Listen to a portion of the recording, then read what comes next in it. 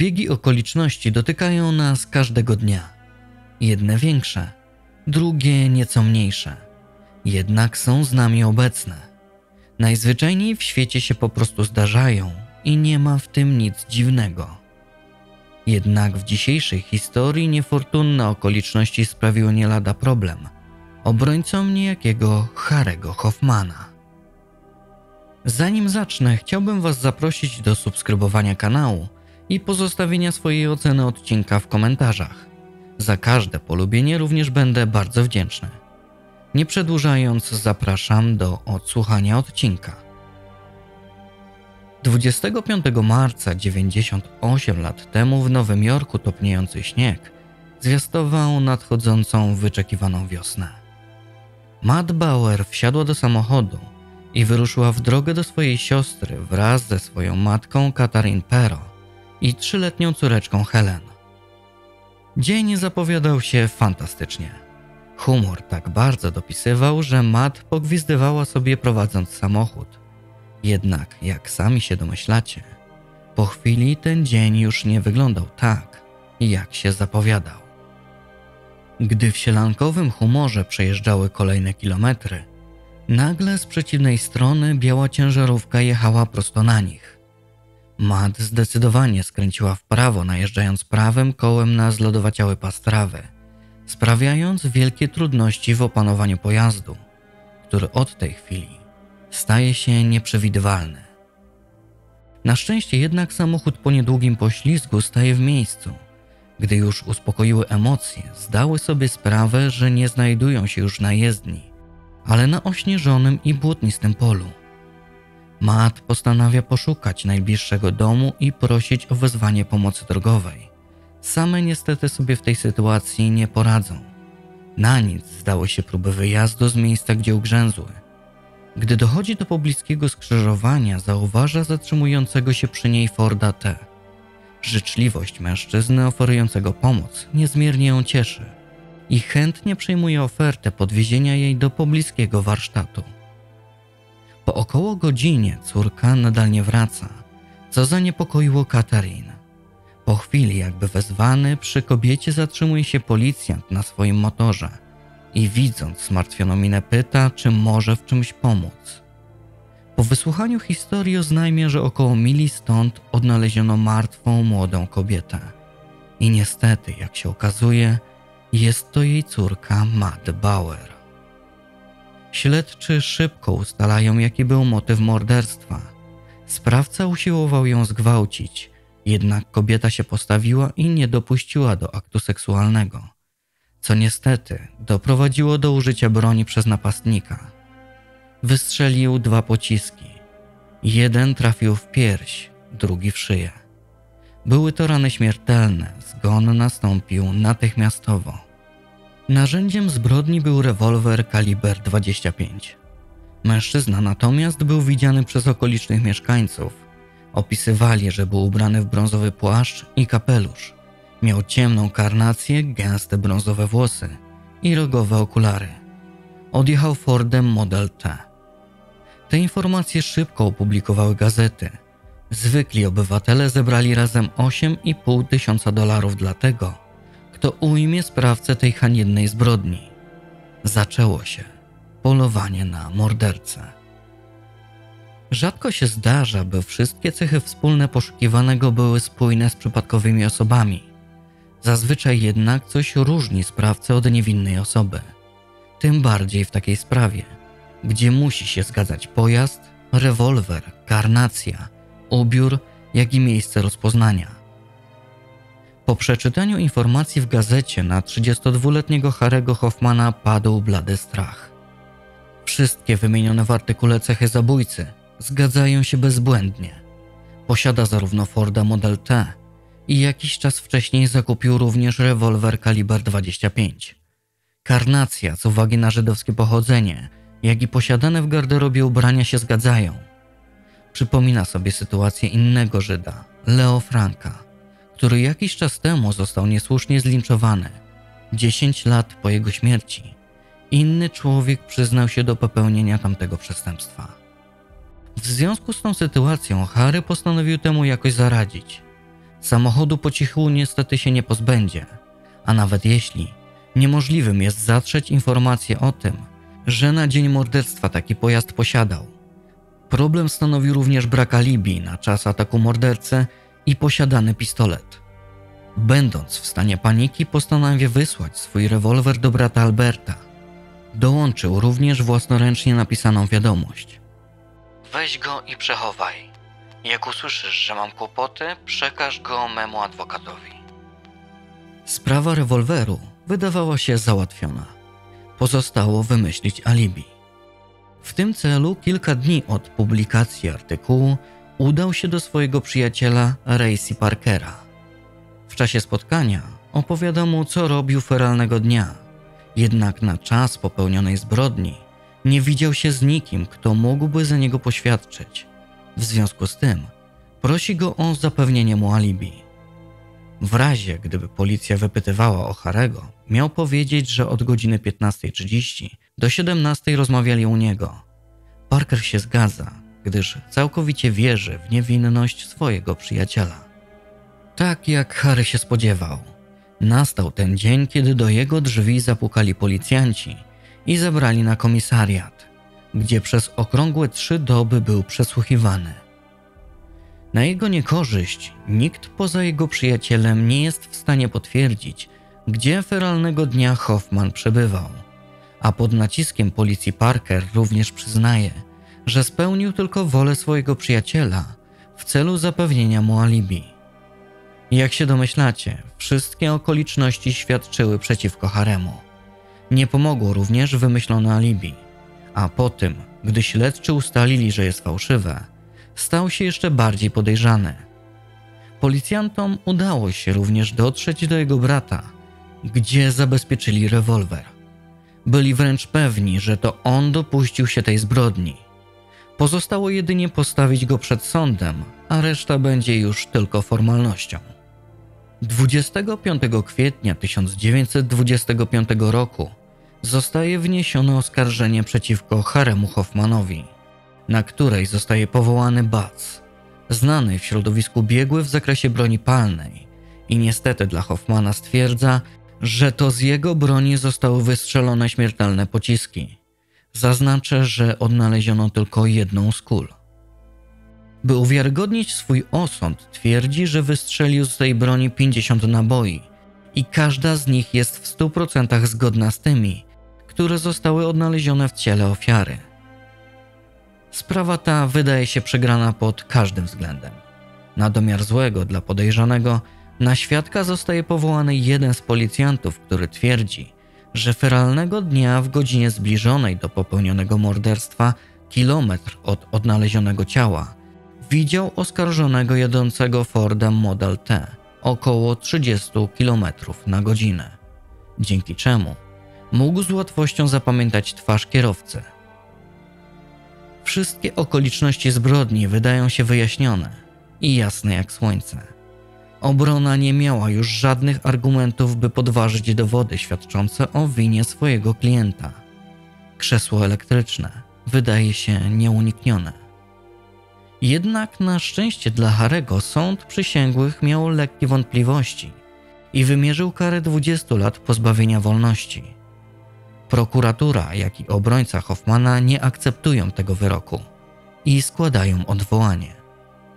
W tym czasie znajomi skazanego nieprawomocnym wyrokiem zbierają pieniądze na lepszego adwokata, doświadczonego i cenionego w środowisku obrońcę w sprawach karnych, Lenorda Snitkina, który jakby od niechcenia w pierwszych chwilach zapoznania się ze sprawą odkrywa błąd formalny który prowadzi do wznowienia procesu. Oskarżenie zakładało, że Hoffman zamordował ofiarę nieumyślnie podczas próby gwałtu. Wyrok mówi jednak o zamiarze zabójstwa i jest sprzeczny z aktem oskarżenia. Od tego momentu mija 2,5 roku, zanim odwołanie od wyroku zostaje rozpatrzone. Koniec końców, wyrok zostaje uchylony i postępowanie zostaje wznowione. Problem jest jednak następujący. Obrona zagrała w bank, wóz albo przewóz. Jeśli tym razem Haremu zostanie udowodniona wina, wyrok będzie równoznaczny z jego śmiercią. Oczywiście Hoffman liczy się z konsekwencjami. Chce uzyskać uniewinnienie, oczyszczenie swojego nazwiska z wszystkich podejrzeń. Jest skłonny postawić na szali swoje własne życie. Proces rozpoczyna się w marcu 1928 roku. Jednak zanim jeszcze na dobre się rozpoczął, trzeba go było przerwać. Podczas przesłuchiwania świadka mecenas Snitkin doznaje ataku serca, który po jakimś czasie wracając do zdrowia domaga się przekazania sprawy innemu sądowi, oznajmiając, że oskarżony nie może w obecnych okolicznościach liczyć na uczciwy proces. Po trzecim procesie trwającym trzy tygodnie, ława przysięgłych nie mogła dojść do jednomyślności. Snitkin natychmiast składa wniosek o przeprowadzenie czwartego procesu. Jednak niedługo później, z powodu problemów zdrowotnych, umiera. Hoffman jest zdruzgotany, fizycznie i psychicznie wykończony, a wręcz załamany. Jego obrońca, na którego wydał wszystkie zebrane przez znajomych pieniądze i własne oszczędności, nie żyje. Żona się z nim rozwiodła, a jego dzieci zamieszkały w sierocińcu. Czuje, jakby cały świat się zmówił przeciw niemu. Nadzieję jednak przywraca mu współwięzień, sugerując zatrudnienie Lejbowica, najlepszego w całej Ameryce obrońcę od spraw karnych. Harry, postawiony pod ścianą i chwytając się ostatniej deski ratunku, postanawia napisać list o następującej treści. Bardzo szanowny panie Lejbowic, te słowa to ostatni krzyk rozpaczy. Nie znam pana osobiście i naturalnie pan mnie też nie zna. Oskarżono mnie o morderstwo i choć jestem niewinny, skazano na 20 lat więzienia w Sing Sing. Przez 5 lat walczyłem o swoją wolność. Przyjaciele uzbierali na moją obronę pewną sumę, która już się wyczerpała. Czy pomoże mi pan? Harry L. Hoffman. Jakiś czas później Samuel Leibowitz odwiedza w zakładzie karnym swojego potencjalnego klienta. Co go do tego skłoniło? Na to pytanie nie potrafił nigdy odpowiedzieć. Kłamstwa skazanych nie są dla niego czymś niecodziennym. Raczej spotykał się z nimi nieustannie. Jednak w tym przypadku postanowił nieco zaufać i przyjrzeć się bliżej sprawie Harego. Przeczytanie 3600 stron akt sprawia, że podejmuje się tego wyzwania i na sali sądowej stanie w obronie Hoffmana, mimo że w aktach doszukał się zaledwie tylko kilku wątpliwych wątków. 6 maja 1929 roku rozpoczyna się czwarta rozprawa, która może zadecydować o wolności lub śmierci Harego Hoffmana. Obrońca Lejbowic zdaje się być pewny siebie i wręcz agresywny podczas mowy otwierającej, od początku atakując prokuratora Flacza, który miał zataić fakty przemawiające za niewinnością jego klienta. Horatio J. Sharrett, widziany niedługo po dokonaniu morderstwa w pobliżu miejsca odnalezienia ciała kobiety, Wygląd odpowiada rysopisowi zabójcy. Samochód Ford T. Zmotoryzowany policjant zatrzymał go i skontrolował 500 metrów od miejsca popełnionej zbrodni. Jednak nigdy nie został przesłuchany w sprawie morderstwa. Jak się okazuje, powodem tego stanu rzeczy może być fakt, że Horatio jest bratem dobrze znanego polityka. Lejbowic poruszył tą kwestię na sali rozpraw czym wzbudził niepewność przysięgłych i wątpliwości, czy Hoffman jest winny śmierci młodej kobiety, a sfabrykowanie alibi było podyktowane paniką zwykłego człowieka na wieść, że osoba o podobnych rysach twarzy, posiadająca ten sam rewolwer i samochód, zamordowała niewinną młodą kobietę. Na świadka zostaje powołana Barbara Fachs, która w czasie popełnionej zbrodni miała zaledwie 13 lat i początkowo, podczas rozpoznania, dwukrotnie zaprzeczała, jakoby Harry Hoffman był kierowcą Forda, którego widziała w okolicach odnalezionego ciała kobiety. Później natomiast potwierdziła, że tym, którego feralnego dnia widziała, był właśnie Hoffman. Pytanie nasuwa się automatycznie: dlaczego? Dlaczego zmieniła swoje zeznania? A powodem, dla którego je zmieniła, było przemuszenie przez Vana Wagnera, świeżo upieczonego inspektora, jak i innych detektywów prowadzących sprawę. Następnym powołanym świadkiem zostaje policjant, który dopiero miesiąc po zabójstwie i wyznaczeniu nagrody 8 tysięcy dolarów za ujęcie sprawcy zeznał, że widział Hoffmana w okolicach miejsca zbrodni. Wcześniej nie pisnął o tym ani słowem. Obrońca Lejbowic i tutaj doszukiwał się pewnych niejasności, które zamierzał wyjaśnić. Padło pytanie, czy wykonywał rozkaz wydany przez prokuratora, czy też była to jego decyzja. Policjant bez zbędnej zwłoki i zastanowienia przyznał, że była to jego nieprzymuszona wola. Jednak obrońca Hoffmana był przygotowany na taką odpowiedź i wytknął przesłuchiwanemu, że podczas drugiego procesu zeznał, iż to prokurator Fletch kazał mu przyjść, a dowodem tego jest 750 strona akt. Wiarygodność tego człowieka w oczach przysięgłych została zdetronizowana. Kolejny raz na sali rozpraw pojawia się nazwisko Szaret i w wyniku przedstawionych nowych dowodów i wątpliwości co do winy Hoffmana, Horatio zostaje powołany na świadka. Pada pierwsze, ale jakże wymowne pytanie w stronę Szareta. Jak długo jest pan zaprzyjaźniony z prokuratorem Fletchem? Od 20 lat. Jeździ pan Fordem Model T? Owszem. Czy w chwili popełnienia przestępstwa znajdował się pan w pobliżu miejsca zdarzenia? Tak, zgadza się. Świadek jest do pańskiej dyspozycji. Nie byłem w stanie ustalić, czy prokurator zadał jakiekolwiek pytanie Szaretowi. Uważam jednak, że dalsze pytania tylko bardziej pogrążyłyby stronę oskarżycielską. Następnie powołany został biegły w dziedzinie broni palnej Bac, który już wcześniej zeznawał i potwierdzał zgodność kuli znalezionej przy ciele ofiary z kulą wystrzeloną z rewolweru Hoffmana. Ale i do tej konfrontacji Lejbowic był perfekcyjnie przygotowany. Miał ze sobą trzy orzeczenia z dziedziny balistyki, które nie potwierdzały zeznań Batsa. Rewolwer będący w posiadaniu Harego nie zostawiał identycznych śladów, jakie miały na sobie kule wyciągnięte z ciała kobiety. O perfekcji Lejbowica wspominałem przed chwilą, ale nie powiedziałem wam o tym, że przygotowując się na tą rozprawę, obrońca zadbał również o to, by wśród przysięgłych znalazło się czterech inżynierów. A jakie to ma znaczenie? Już wam tłumaczę. Wraz z dokumentacją został przygotowany mikroskop, przez który przysięgli mogli sami na własne oczy zaprzeczyć lub potwierdzić prawdziwość orzeczeń.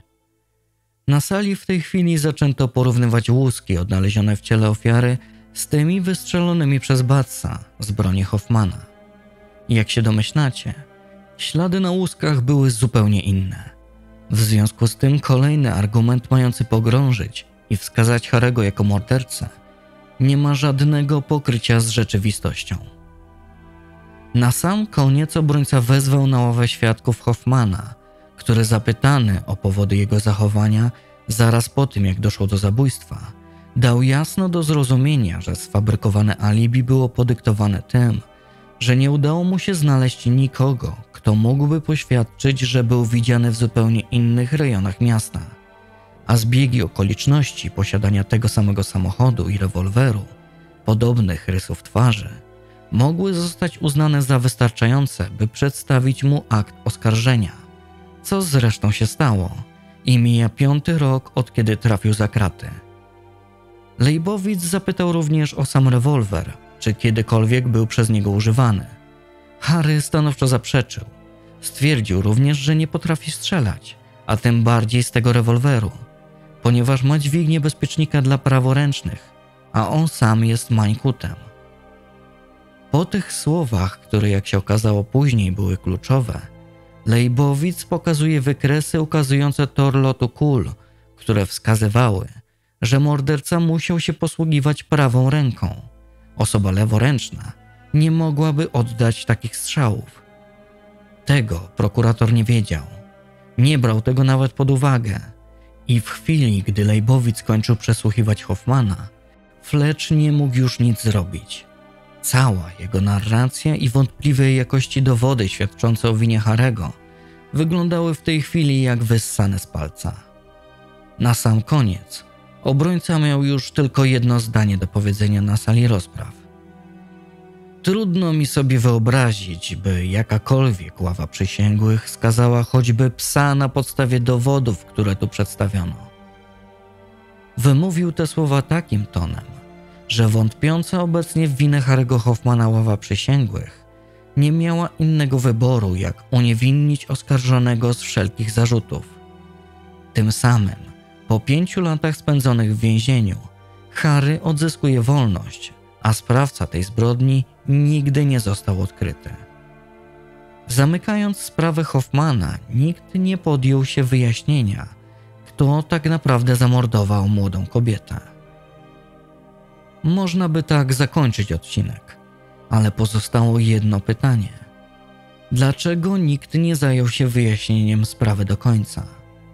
Niejasnym jest to, co w pobliżu miejsca zbrodni robił Horatio Szaret.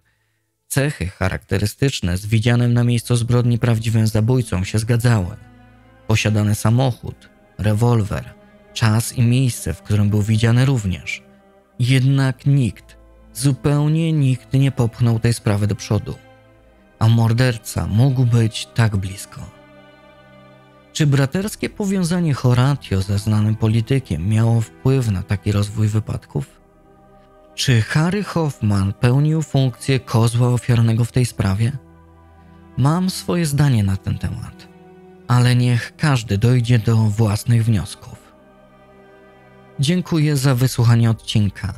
Pozdrawiam i do usłyszenia.